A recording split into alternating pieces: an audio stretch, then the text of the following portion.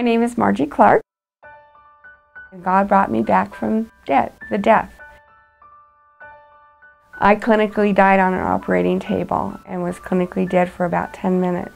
I had been having a lot of health problems, uh, heart problems, and I had a major heart attack that was causing a lot of tests, a lot of expense.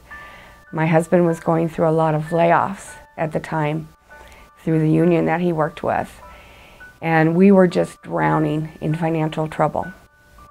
So in my head, I started having thoughts, well, both my husband and my children would be taken care of by my Social Security because I had worked so many years that I have a good Social Security once I'm eligible for it. And that I believed was the way to go. I was planning to commit suicide. I felt totally alone. I felt God forgot all about me. So I was planning basically to gather all my heart medications because I knew if I overdosed on them, I would be gone. And take them to a motel room because I did not want to do it at home where the kids might find me. And the only thing I was waiting for was that $49.95 special worth of money to rent the room. I was about three days away from getting that room. And I had a doctor's appointment, which my husband made sure I went to. And while I was there, I had another major heart attack and was taken directly from the doctor's office to the hospital.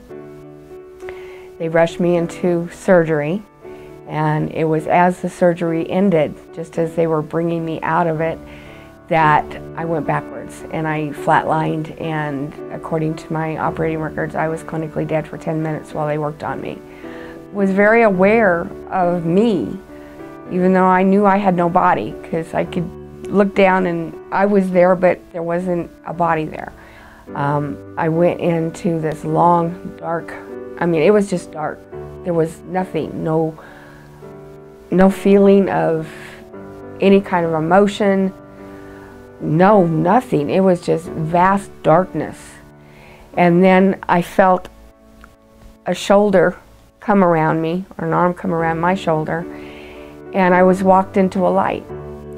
And it was the most brilliant, brilliant light I've ever, I don't think I could even explain how brilliant the light was. And it was full, full of caring and love.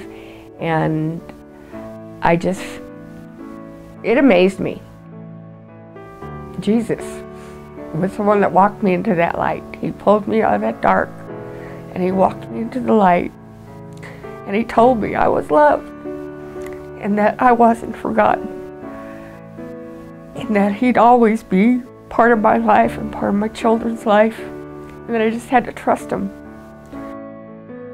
God brought me back from the dead. I was dead. And he showed me the glories of what waited for me if I came back and did what he want, wanted me to do.